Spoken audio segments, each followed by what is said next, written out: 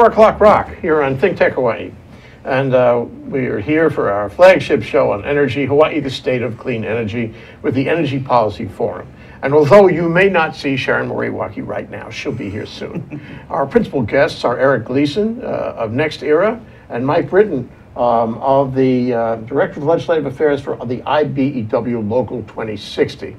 Okay, and uh, the title of our show today, we'll explore this in greater detail, is Yes, Energy Means Jobs Too. Yes, it does. I agree. I knew you'd say that. Okay, but first we have the negawatt moment. Uh, and uh, we have Lisa Harmon here from Hawaii Energy. She's a trade ally specialist, and she's going to talk about a special uh, certification uh, program that you guys are doing. Yes. So Welcome to the show, Lisa. Thank you. Thanks for having me, Jay.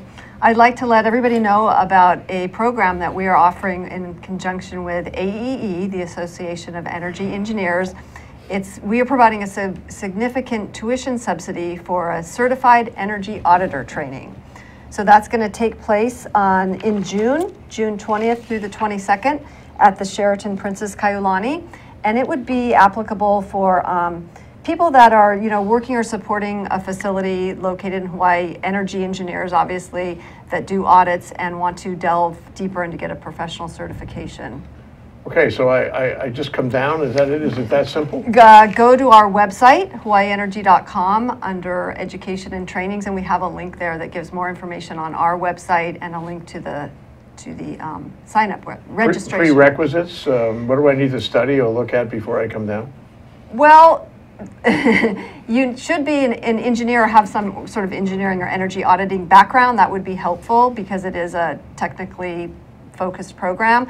But it looks at things like um, building envelope, lighting systems, air conditioning systems, heating, motors and drives, so all aspects of the energy being consumed in a building so that to do a thorough and professional audit. And this is a great professional certification. And I wanted to mention too that the U.S. Department of Energy just announced that the AEE's Certified Energy Auditor Program is recognized under the Better Buildings Workforce Guidelines Program. And this is the first um, energy auditor, auditor program to earn this recognition. So that's another accolade for Okay, this that's excellent great. training that we're helping. Is this going to cost me anything to come down and get certified? Um, only a $450 copay to cover the testing portion, but Hawaii Energy is subsidizing a significant portion Ah, So of that's that. where you come in. You are Correct. subsidizing the, the cost of the, the program and the certification. Correct. So for AEE members, the cost is $2,395. Hawaii Energy is subsidizing everything but the $450. If they're not an AEE member, it's $26.95. Okay, and what do I do with the certification exactly? Well, it's a great way to enhance your knowledge and be able to um, just better identify and prioritize energy projects in the field. And it's a, a great thing to add to your resume and, you know, just to help you every day in your job. in Are the there jobs out there uh, for uh, certified energy auditors? Um, there are, and I think as we move more and more along our path to renewable energy, you know, energy efficiency is such a huge part of it. So having people that are proficient in these types of skills that can really go through a building and identify these are the different different types of things that we need to look at to identify these opportunities to be more efficient is always greatly needed. Now, you know our principal uh, guest tonight, Eric Gleason, President of NextEra uh, Energy Hawaii, and uh, Mike Brittain, Director of Legislative Affairs for IBEW, Local 1260. They now have a chance to comment on what you're suggesting. Well, I- ooh, first of all, Jay, thank you for having me on the show. And uh, it sounds like a great program, and also sounds like you're interested. So I think we may have found. your I'm going to send you the There link, go. Jay. The you can first sign person, right up. yes. I'm, I'm, uh, I'm a practical engineer, an osmotic engineer. I get it by osmosis only. One of these days. Mike, what do you think Um, about this? You know, same, same with me. Thanks for bringing me on. And anytime I hear the word jobs, you know, my ears perk up and I want to I want to hear more about it. So, Send him something. Great, I'll send you the link to sign up. Visit hawaiienergy.com and go to our professional and educational page and you'll find lots more information in the sign up. Thank you, Lisa. protocol. Lisa You're Harmon. Hawaii Energy. Thank you. We'll Thanks take for a short me. break and we're going to switch. Thanks for coming. Okay, down. great, thanks. Well, Aloha, my name is Reg Baker, and I'm the host of Business in Hawaii with Reg Baker. Business in Hawaii is a program that is positive stories about business in Hawaii. Uh, we're tired of hearing the negativity and why it's the wrong place to have a business.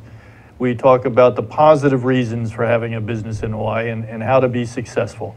We broadcast live every Thursday at 2 o'clock. We look forward to seeing you. Aloha. Aloha, my name is Justine Espiritu, and I am the co host of Hawaii Farmers Series. This is my co host, Matthew Johnson, and we are live with you every Thursday at 4 p.m. at thinktechhawaii.com. And our show focuses on Hawaii's local food uh, community. We feature not only the farmers that are producing our food, but we also feature the supporters and other folks involved in the community that are trying to promote local agriculture. Aloha, my name is Carl Campagna. I'm the host of Think Tech Hawaii's Education Movers, Shakers, and Reformers. You can see our show every Wednesday at noon at 12 p.m. on thinktechhawaii.com, as well as visiting YouTube and finding the link for the show there. The show is also aired on OC16. We look forward to seeing you on the show. Uh, we have many wonderful guests, uh, including Joan Husted, Corey Rosenlee, where we talk about the very important issues of education for our keiki. We look forward to seeing you there. Mahalo. We're back. We're live with the 4 o'clock rock, Hawaii, the state of clean energy. And we have uh, Eric Gleason here, our principal guest, one of our two principal guests. He's the president of NextEra Energy Hawaii, and Mike Brittain, director of legislative affairs, IBEW Local 1260. And of course, my co-host, who has just appeared, uh, that's Sharon Moriwaki, co-chair of the Hawaii Energy Policy Forum. Thank you all for being here. Thank you. Thank you. Our discussion today is yes, energy means jobs too. And that's really important, you know, because we're always interested in jobs, the economy. I mean, for a long time, ThinkTech was, um, you know, kind of urging people to do technology jobs. For the first 10 years of our existence, it was all about technology. And the question I put to you, I guess, is, is this, isn't this technology too? Isn't it really a continuum of the same kind of science and technology? The jobs that we would have, that we will have, that we hope to have around energy are tech jobs, aren't they? A lot of them, not all of them, but uh, I think just about every job in the energy business, at least as we see it, uh, has technology is changing, right? So all, all the jobs are changing in some way. Um, you know, I think if you, if you step back and you say, well, what is going on with energy in Hawaii right now? I think there, there are a couple things. Um, one is the move to renewable energy, ultimately 100% renewable energy, means tremendous investment in Hawaii, and as part of that, local job creation. Okay, so instead of spending billions of dollars a year to bring in oil, which actually doesn't take a lot of people here in Hawaii to purchase the oil and bring it in, you're actually talking about investing in, in you know, productive assets, large or small, probably both, um, which means local jobs, right? Whether it's designing them or building them or operating and maintaining them or administering them or regulating them, um, plus community benefits. So, so there's a lot of investment that should create, will create jobs here in Hawaii over time. And then the other thing that's happening, and this is not just in Hawaii, it's, it's everywhere, is that the technology of energy is changing. So we're going through a period now, I think, you know, we're going through a rate of change in technology, in business models, in economics, in customer expectations that is, is reminiscent of our industry 100 years ago when it was really first starting out and and the pace of change just keeps accelerating. And so, um, you know, what we see is that every job is is impacted in in good ways, um, and more jobs are being created. Yeah. But something you said I'd like to follow up on, and that's the point about investment.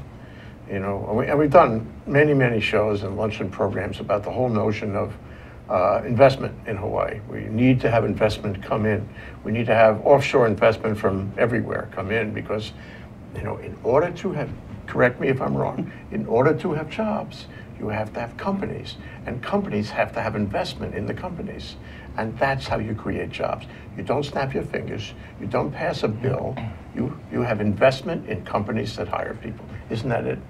Well, I mean, government has jobs too, right? And, and the nonprofit sector. So I, I don't. We want, want to take take away all, all jobs are, you know, lot, lots of room for lots of employers. But uh, I think certainly in energy, the private sector is is the overwhelmingly the largest employer, whether it's the utility or um, you know smaller companies, solar installers, um, whatever it may be. There's a lot of companies involved in it.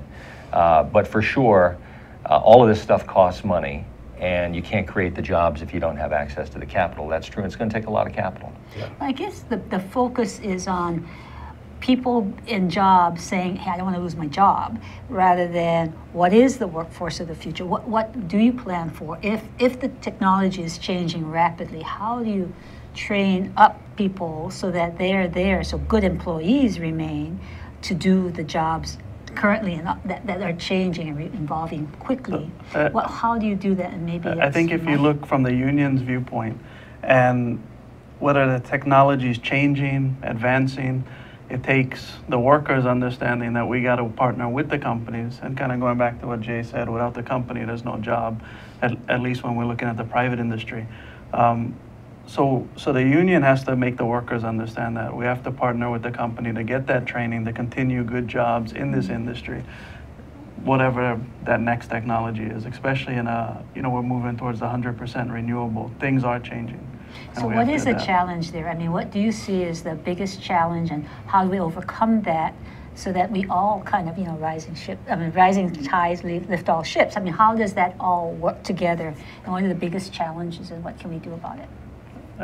I think building that, that partnership, um, getting both sides to understand that we have to work together, we're in it together, and without that partnership, we both fail. I mean, I th- and I would add just, I think one of the things we've seen is um, working with employees, working with the union, also work, just working with the employees. Um, when they see the benefits of the technology, they get excited about it, right? They need the training, but they need to understand why they're doing it too. And so, just to give one example, you know, in, in, in Florida, um, people who go out to you know fix problems in the distribution system, they have iPads now at, in, at Florida Power and Light. They have iPads that tell them whose ser- whose electricity mm-hmm. service is working and whose isn't. That's huge. It Right. saves That's so great, much time to yeah. do that. And, and it's, it allows them to see where the problems are, fix the problems quickly, mm. And then know that they've fixed them. And right, if somebody's still out, they can go address it. So now they're, they have power in their hands because they have superior information. And so once, you know, somebody has a tool like that in their hands, they can see that they're actually more effective at their job, mm-hmm. their time's not being wasted, they're doing, they're helping customers out. Mm-hmm. And so that's, that's an example of, you don't just want to, you know, force technology on people, but help them see how this will really help you do your job Yeah. You want to make their jobs easier, really, and more effective. and more effective. It's all about efficiency. People But I'd like, like to, to have the feedback that you're doing a good job too. So Feedback. if customers say, "Oh yeah, you fixed my problem," so then that's you have a really- public you know. opinion, uh, you know, benefit on that too. But I- I'd like to talk about, uh, you know, uh, the loop, the imbalance that you can have when you're trying to build a job force and ju- build an industry. So you start at this level, and you have X number of jobs, and you want to get up here. And you start at this level in terms of, uh, you know, um, the, the companies, the technology, uh, the workforce, the workforce. Uh, you start at this level, and um, they're they're only so competent they don't know about stuff. You got to train them. Okay, so if you train them over here and there are no jobs over there, you're imbalanced. If you have a lot of jobs over here and they're not trained for them, you know, you're in, you're not in balance. And so you have to sort of, I think, I'm just throwing this out as a theory, you have to spiral up. Mm-hmm. You have to start somewhere, eat away at it, eat away at it, a step ladder kind of thing, and then you, you bring both sides of the equation up. So thoughts about that? How do you do that? How can we do that? Where do you, where do you start? Where, what foot do you put out first? I- I think if you keep the training more general, and, and maybe, I don't want to say overtrained, but um, for instance, a solar installer, you could train somebody to install solar panels, or you could train an electrician. And when there's solar work, they can install solar panels, but maybe there's not solar work, they can do commercial or residential electrical work. And I think that kind of evens out the, the tides as they rise and fall as far as being, uh, having work available. the entrepreneurial creativity. Right. It's like those guys in the solar business, you know, uh, they don't have enough jobs, so they do plumbing. You know, it's happening. You can see it in the newspaper. Yeah. So how does that? Um, I guess it goes back to what you were saying, Mike, about um, well, it takes a partnership with the employer and the workers. But how do how do you frame that in a way that you're escalating together, and this general training then leads to oh, we've got a specific need here, or there's a new technology here that you can flip into new arenas, but still with some basic competencies, and what are those?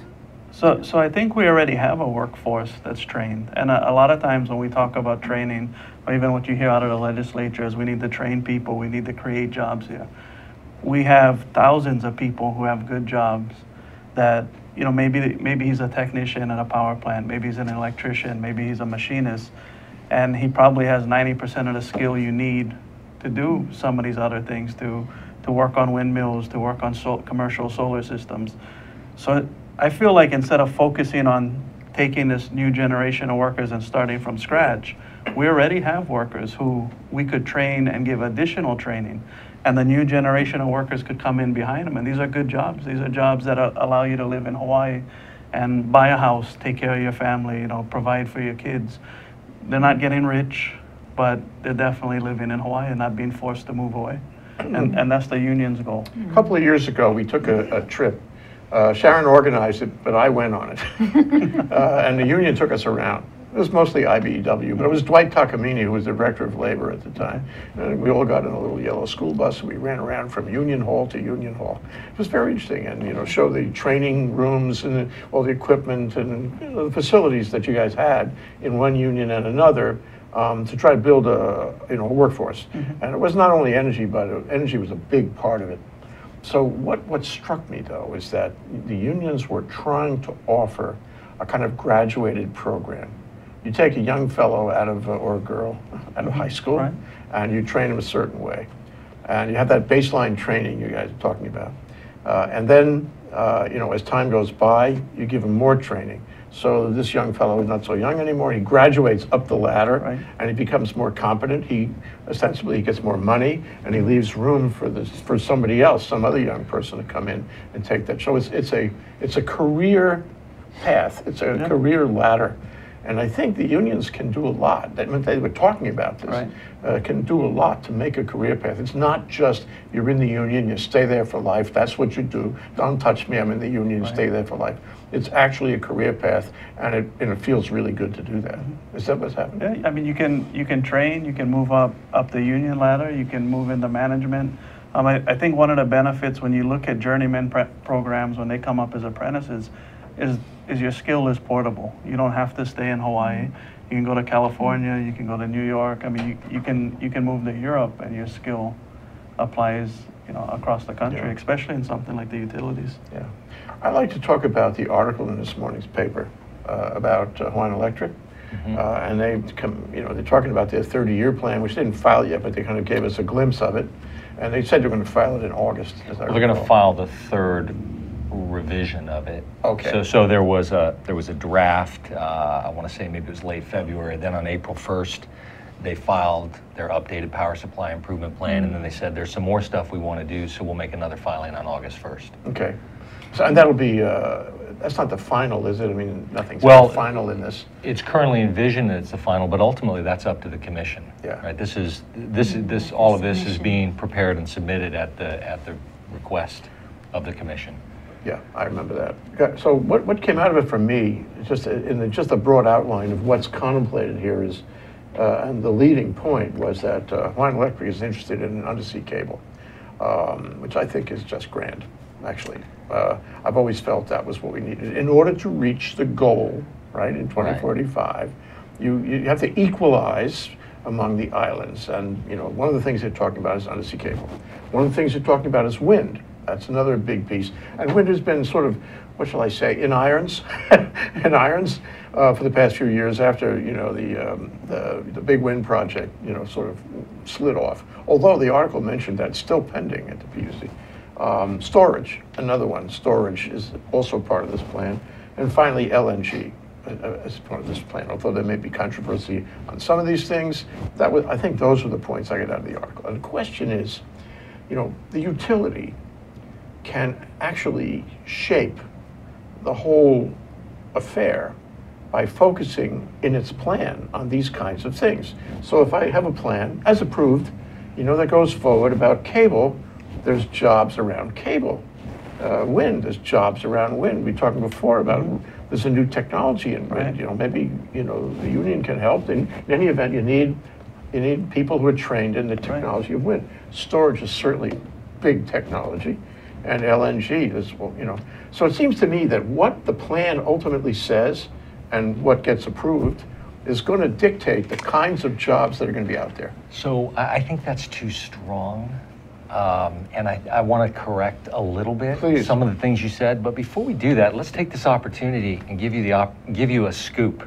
Okay. Because about a half hour ago, Hawaiian Electric filed with the PUC an application for LNG importation Okay, to. Hawaii, as well as as well as a um, replacement generation, new modernized replacement generation, Great. which they've talked about in the PSIP, but now they've actually filed the application. Great.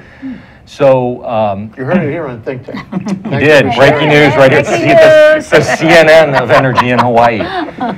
So um, first of all, Hawaiian Electric hasn't said the cable is our plan. What, what they have said is the analysis that has been done so far, and, and including it wasn't just Hawaiian Electric's analysis, it was uh, the National Renewable Energy Laboratory um, did some consulting for them, and the analysis says, hey, we don't we don't see a path to 100% renewable energy for Oahu using Oahu sited resources. Not saying it's impossible and it'll never materialize, but as we sit here today, based on what we know, we don't see that path. And so to get, therefore, to get to get all of the Hawaiian electric companies to 100% renewables, Oahu's going to need something from off Oahu. Now, those there are three options that they've identified. One is biofuels. You can import biofuels, right? You can also produce them here, but in the scale that we're talking about, the expectation is you'd have to import them somewhere else. Uh, offshore wind is another uh, possibility, and by that we're talking about floating platforms offshore Oahu with transmission cables suspended in the water column. It's a it's a kind of a new technology that's developing with some developers out there that are that are um, pushing it. And then the third idea they've identified is the inter-island cable and renewables on a neighbor island. And so what they've said is we need to do some more work, particularly on the latter two, to, to think about this some more. But as we sit here today, those are the options that we see. Yeah. So, so I think, and there's a lot of steps between where we are today, a plan, and uh, the jobs that you're talking about in those specific areas. They're, they're not going to be able to, the, the utility can't just dictate, we're going to do this or we're going to do that. They prepare these plans, they have to show the, the analysis that they've done, the rationale why it's the right thing for customers and the state to go down one path versus another. Then they have to put in an application like they just did on LNG, and then the commission looks at that individually. So, and then it has to get done, right? So, so, and that's where the jobs come in. So, really, the plan is just the first step that says, mm-hmm. here's where we know we need to get to. Here's the different options we have. Here's how we're thinking about it right now, and they'll get feedback from stakeholders and from the commission on that. Why do I feel it's time for you to talk about a Clean Energy Day in in August? This is what we want to do in Clean Energy Day. Stick It's a great opening August. for you, Sharon. We do this. We want to, we want, so what we're doing is gathering information. In fact, the forum is meeting next week to look at the big picture issues and what are some specific actionable pathways into the future so that we can lead up to not 2045 and 100%, but at least a milestone of 2030 that's more realistic. And so these pathways are very important, but we also need to bring the community along in terms of understanding that. Mm. And that's what we're looking toward August to do. So good that you have That's these plans out there and we can start discussing it and, and um, what the impacts will be for the community as well. It's perfect You timing. know, it's Yeah, really it good. is, yeah, Good. yeah. Good news. August. Yeah. Propitious Oh, time, okay. So, um, you know, I, make me, I'm, um, I'm two years into my electrical engineering degree at UH Manoa. And I'm a smart guy. I would like to figure out where I'm going in this life. I like to stay in Hawaii. I like to be in energy. It's all about energy for me. Uh, I'd like to sort of range on, you know, just take a look at these options that are under consideration. Uh, I'd like to, you know, take account of what uh, Lisa Harmon was telling you, you know, about the certific- certification of the uh, uh, electric energy uh, auditor. Um, and I like to plan my courses and my career. So I don't know for sure. It's a moving target, for sure. But what do I do? What kind of analysis do I make so that I know I'm going to be one of uh, Robbie Melton at HTDC? She runs HTDC, 80 by 80,000. She's got this plan to have 80,000 people in the state earning $80,000 in technology, and that includes energy. So, how do I plan my path personally knowing what we're talking about here today. If we wait long enough, eighty thousand dollars won't be there. Sure. Right. No, no, immediately, more immediately. Like four years or eight years at the max. What do we do? What do we do if we What- were thinking of the career? I mean, I don't know about you, but I- I'm pretty sure this is true of you too. Maybe you should too, Sharon. Uh, I'm like, my career has never gone according to a plan. That's true. So the first thing I would say is true. forget having a That's plan. But if you're kind of roughly heading in a direction that you think there's a need for what you're, the education you're getting, then you're probably heading on the right path. And if you're interested in it. Now, I personally, I took one electrical engineering course. And it was tough. So I, my, you know, my hat's off to that electrical engineer, you, to you, since you're studying it. But uh, I think, you know, firstly, go where the need is, right? There's going to be a huge need for people in clean energy, renewable energy here in Hawaii. Hawaii is on the global cutting edge of integrating renewable and distributed energy on a grid. Yeah, the whole world's looking at Hawaii. So, mm-hmm. so this is a great place to be to be doing that if you've got anything that's relevant to clean energy. And the other thing is that, that I, I think is exciting is it, it's so important to Hawaii, right? It's not just like some academic exercise or it's kind of interesting but nobody really cares. I mean, people really care about this issue, so it's really an opportunity to make a huge difference for the state as well. So as, Aloha, as the, namaskar, and int- hello. as an intern, My name is Anu or Hittel, if I'm in and almost my last year and I'm looking to where to Climate go, Change how do I Outrage. intern or, you know, learn some on-the-job beyond skills outrage with my, to find whatever I in solutions to school? climate problems Is it in facing going to people, the employer nations, or and to She's talking about you. Mike. I hope you Yeah. will join me You know, here where- I mean, I think I it depends what kind of job you're looking at, right? broadcast live. Um, Anything, anything in, in, TechHawaii.com. as as Jay says, anything Right. that can use, Aloha what kind of skills bye-bye. do I need? If I- it's engineering. Aloha. where do I My name is Richard Emery, host of Condo Insider. experience? 'Cause most More than a third of the Hawaii's classroom, right? population Where- live in I mean, it some would be form where, of where you want to work, what industry you want to go into. Um, you know, some of my best friends are engineers, and I always tell them you need to spend some time with mechanics so you understand their side of it, right? You make decisions that affect them. So I, I think it's always good to kind of expose yourself to whatever you want. I think one of the things Eric said is look at what you want to do, what you enjoy doing, and, and find out what they're doing out there. I mean, if you want to build a windmill, it's probably not going to happen in Hawaii. If you want to work on a windmill, that's something that'll probably happen in Hawaii. I mean, for an electrical engineer, it's probably you know good to expose yourself to the utilities, and so so I think you got to do some research too. I mean, like Eric said, my my career never, I would have never imagined I'd be working for a union, um, talking about utilities 20 years ago. So. Yeah, I would never imagine I'd be doing a video Right. thing either. So how important is the union in this, in this decision process of mine? Do I need the union? Do I want the union? Should I relish the union or should I do something else without the union? So, so I think first you got to know what the union does, right? Take a minute and Um, tell us. We just organized, for example, uh, windmill technicians for SunEdison um, just this past week. If you look at the skill, we talked about the technology it takes and the skill level they have. They're highly skilled, they're highly trained, but their pay, I don't believe, is equal to where it should be as far as comparable jobs in this industry. That's our job when we negotiate contracts to put them where they belong, not to ask for too much, not to settle for too little, but to find that balance that the company makes a profit, the worker gets treated fairly for what they do, and you know it's kind of create a win-win, not to be cliche, but create that win-win environment that um, everybody's doing okay. Okay, well, we're going to take a one-minute environment here for a break. Okay, that's Eric Gleason, Mike Brittain, and Sharon Moriwaki here in Hawaii, the state of clean energy. Yes, energy means jobs too. We'll be right back. Hi, I'm Chris Leatham here with Think Tech Hawaii, and I invite you to watch my show, The Economy and You, each Wednesday at 3 o'clock um, here in Hawaii on OC 16. We look forward to seeing you. Aloha. Aloha, namaskar, and hello.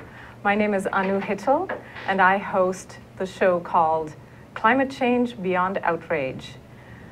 We go beyond outrage to find solutions to climate problems facing people, nations, and the world.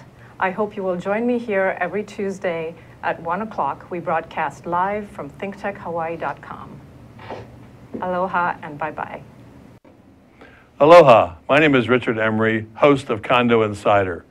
More than a third of Hawaii's population live in some form of association, and our show is all about educating board members and owners about their responsibilities and obligations and providing solutions for a great association. You can watch me live on Thursdays, 3 p.m. to 4 p.m. each week. Aloha. For the next segment, so we'll let her do that on the air. What exactly do you want to talk about now? I think the future, the future for our workforce, for clean energy, and from your experience elsewhere, um, what does that mean to take a current workforce that is is sort of the, the, the old culture needs to be revamped and look at the future? What will it take, and and what are the positives and some of the the cost of doing that, and how can we get there? What is that future? We should all be kind of saying, "Oh yeah, I want to go there."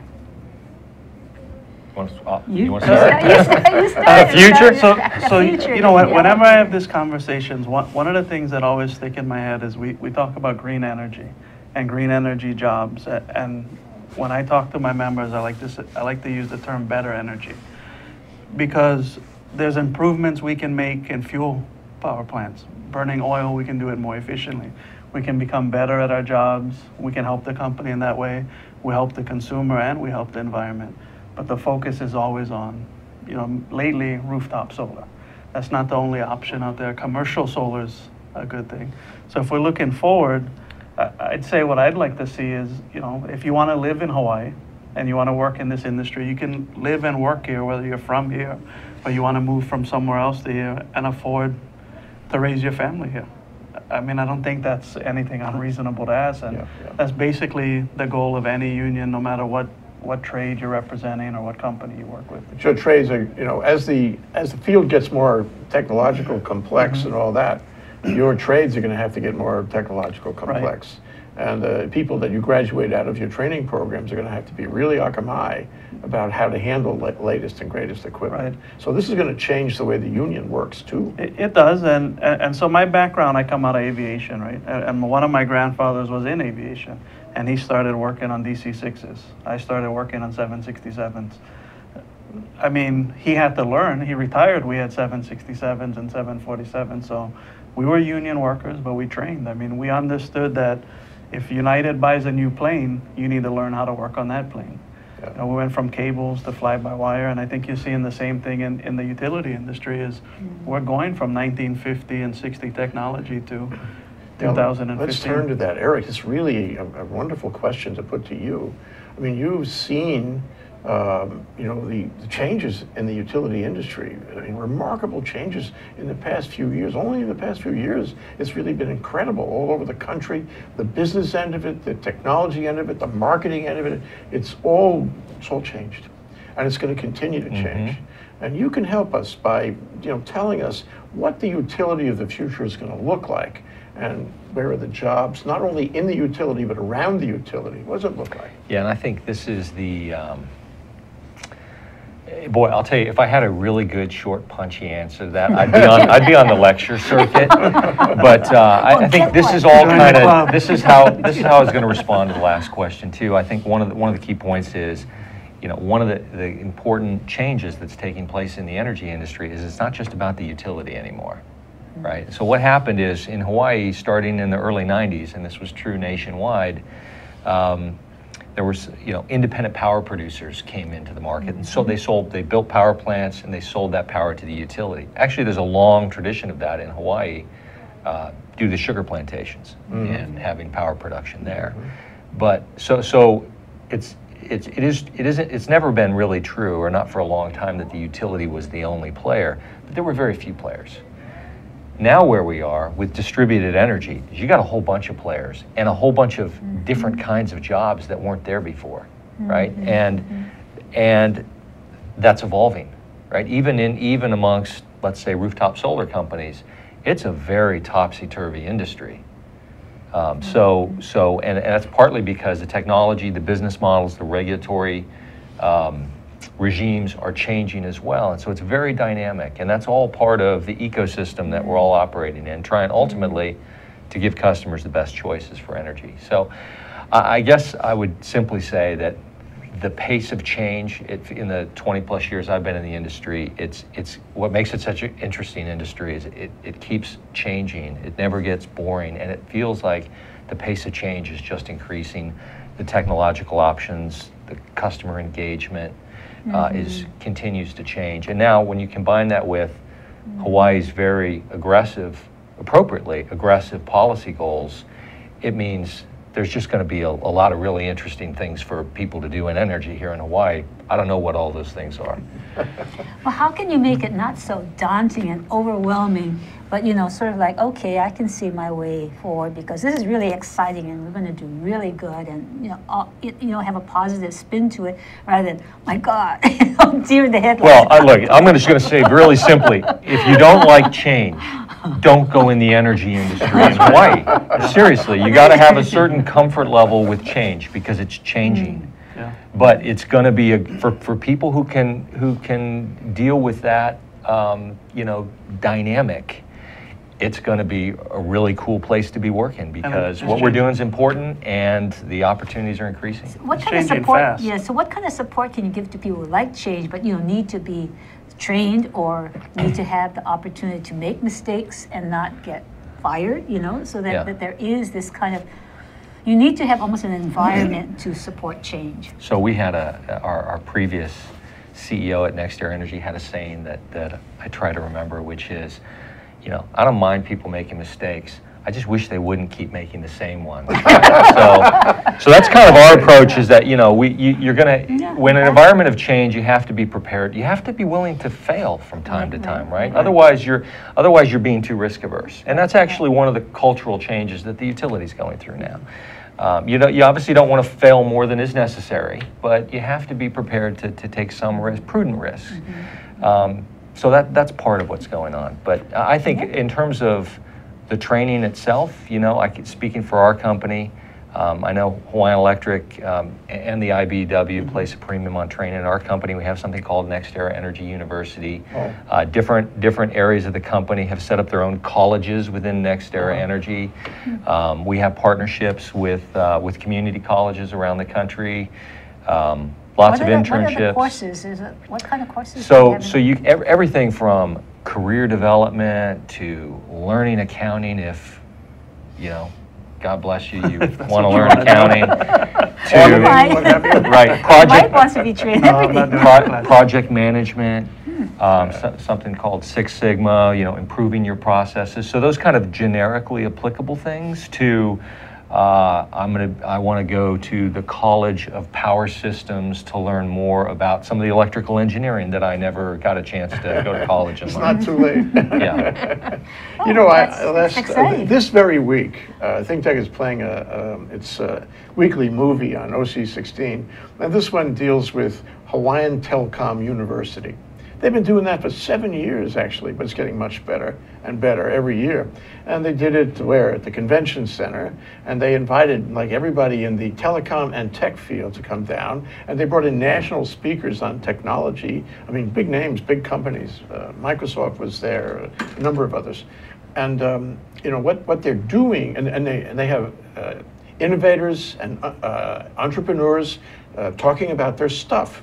And so everybody is all, all excited about the, about the new technology around the old telecom. It's really interesting to see them hmm. make this kind of transition. They're really into change. They're trying, they know they have to change.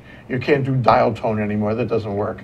You know, but you can do a lot of other things they're doing. And I, and I can see that uh, what NextEra and NextEra University is doing is the kind of thing could, should happen here in energy. I mean, it's that same kind of university expo kind of thing where you bring everybody together and they all, you know, compare notes on their ideas and their, you know, business models. And, and lo and behold, you have an industry of people who are thinking day and night about how to make it better and how to raise all the boats with uh, the new technology. And, you know, one of the things, I mean, Hawaiian Electric is involved in this thing with uh, the uh, incubator over there with Dawn uh, Accelerator. Lippert. Energy accelerator, yeah. Accelerator. I mean, that's just an example of what could happen on a larger scale. That's just the beginning, I think. Uh, we could have entrepreneurial activity, startups even, Yeah. in figuring out some of these software issues. And I think some of the know-how that is developed here in Hawaii ultimately can, can mm. potentially be export. That was my next question. Gee, and we didn't rehearse this. Export. If you develop a body of trained people and, and special knowledge and entrepreneurial, you know, innovators, then you have something you can export. Does this happen on the mainland? Well, no, nobody's where Hawaii is, right? No, but I, I, so I think, you know, on the one hand, Uh, it's probably a little unrealistic to think that, you know, Hawaii's going to be the Silicon Valley of en- energy because the Silicon Valley actually is the Silicon Valley of, of energy. Um, so maybe, maybe the, the R&D is not going to be here, but the actual ap- application of early mm-hmm. stage technologies. Test beds. The, te- the, the clean mm-hmm. energy test bed that, that mm-hmm. people like to talk about here, that the Energy Excelerator is involved in, makes a ton of sense here. And just, just I, don't- you know, I'm, I'm certainly not smart enough to know all, all the ways that we're going to learn to do things here that are going to be applicable in other places. And when I say we, I mean the energy industry broadly. I'm not just talking about Hawaiian Electric and NextEra, but there's bound to be some. And you know, for example, the Energy Excelerator is now um, I'm active in New Zealand and probably other places I'm not aware of. That's So, great. so they're looking at how can we, how can they take the the model they've developed uh, in, in sponsoring and, and um, encouraging entrepreneurialism, how can they, how can they export that model elsewhere? You know, this, this all tells me that um, it's really big. The jobs are big, the future is big, the technology is big, the, all of that entrepreneurial activity is big. Why? Because look at all the energy. It's all around us. Look at all the efficiency. It's all around us. These issues define our society, whether you like it or not. You know, the, the uh, Alan Lloyd, who was an engineer with one for a long time, you know, he wrote a piece for the, the newspaper uh, yesterday, I think it was. They said, "Don't forget, we got to keep the lights on." He always says that. I say that too. Yeah. Don't forget. we It's an keep the inconvenient truth.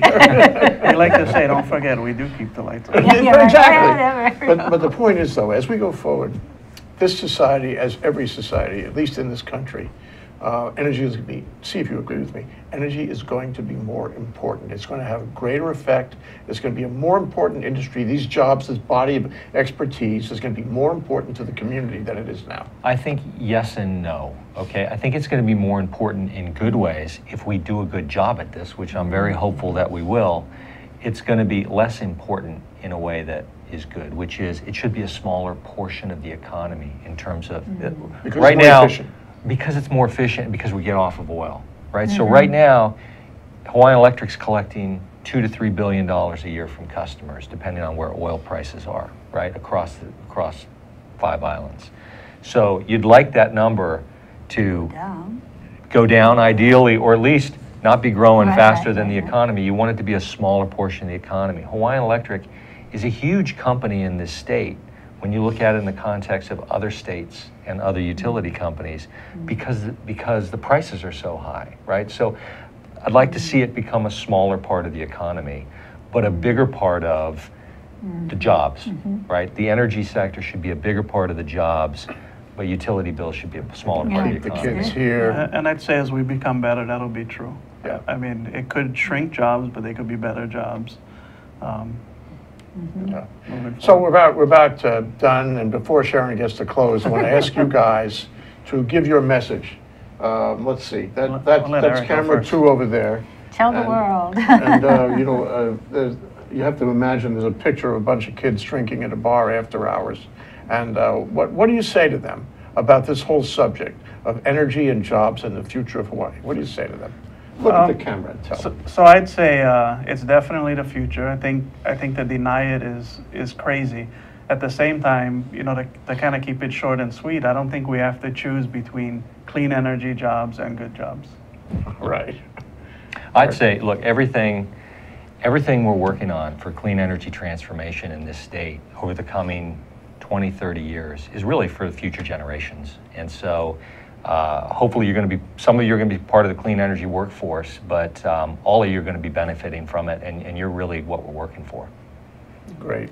Sharon? I want to thank Eric and Mike because this is the start of a really good conversation because we've kept on talking about kind of the macro things and not where it really leads is a better economy, more jobs, keeping our kids home uh, with, with some meaningful jobs for the future. So thank you. Thank you. Thank you. Thank you, Sharon. Uh, Thank you, Eric Gleason. Thank you, Mike. Been been a great discussion. Aloha. We'll do it again. Aloha. All right, look forward to it.